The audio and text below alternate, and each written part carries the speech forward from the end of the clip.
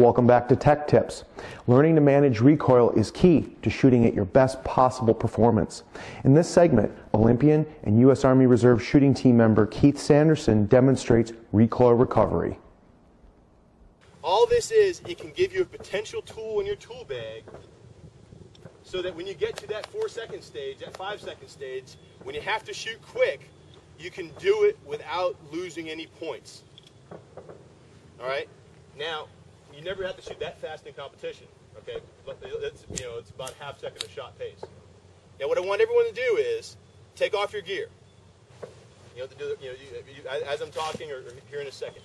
Take off your gear, find your firing point preferably, that way it's not, not in a big stack.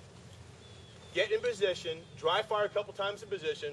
If you have a question, raise your hand. I'm going to give everybody about a minute, minute 30 seconds to do that. All right?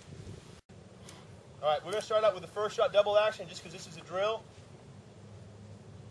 You start out aiming in already, and then when they're at your own pace, just start shooting and start shooting faster, faster, faster, faster, faster.